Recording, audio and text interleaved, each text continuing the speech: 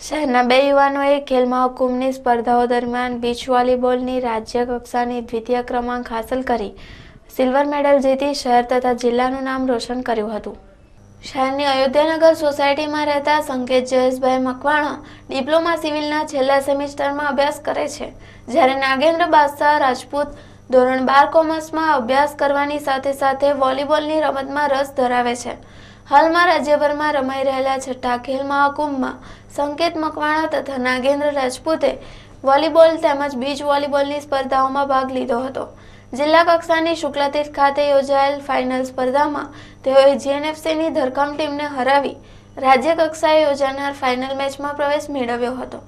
Beach વોલીબોલની final match વલસાડના વાપી નજીકના નારગોળના દરિયા કિનારે યોજાઈ હતી, જેમાં તેઓ વલસાડ સામે રમીને દ્વિતીય ક્રમે રહ્યા હતા. સંકેત મકવાણા તથા નાગેન્દ્ર રાજપૂતને રાજ્ય સરકાર તરફથી સિલ્વર મેડલ, પ્રમાણપત્ર તથા રૂપિયા ત્રણ હજારનો રોકડ પુરસ્કાર એનાયત કરવામાં આવ્યો હતો.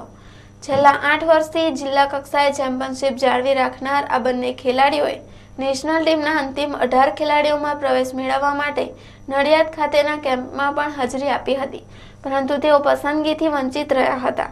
બીચ વોલીબોલ સ્પર્ધા માટે ગુજરાત રાજ્યમાં ખેલાડીઓને ઘણું ઓછું પ્રોત્સાહન મળતું હોવાના કારણે બીચ વોલીબોલ રમતમાં ઉચ્ચ પ્રતિભા ધરાવતા હોવા છતાં નેશનલ લેવલે પહોંચી ન શકવાનો અફસોસ વ્યક્ત કર્યો હતો.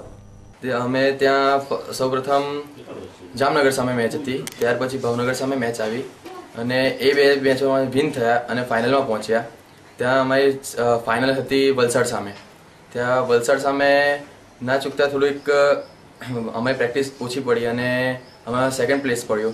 તેથી તે બદલ મેં આગળથી એવું જણાવવા માંગીએ છીએ કે આગળ અમે જ્યારે આજ પછી જ્યારે રમવા જઈશું ત્યારે અમે ફર્સ્ટ પ્લેસ એટલે પ્રથમ નંબર લાવવાનો અમે લોકો પ્રયત્ન કરીશું. ખેલ મહાકુંભમાં અમે વલસાડના મુકામે રમવા ગયા હતા. એમાં અમે ફાઇનલમાં હારી ગયા હતા. તો ગુજરાત લેવલે, સ્ટેટ લેવલની સ્પર્ધામાં અમારો ભરૂચનો સેકન્ડ પ્લેસ પડ્યો હતો. અને આગળ પણ આપણા ભરૂચનું નામ ગૌરવમાં અને પ્રથમ પ્લેસ સ્ટેટ લેવલને ગુજરાતમાં પ્રથમ પ્લેસ ભરૂચમાં ભરૂચ આવે એવું હું કહું છું. અને આગળ અમે પ્રયત્ન જડતા કરીશું.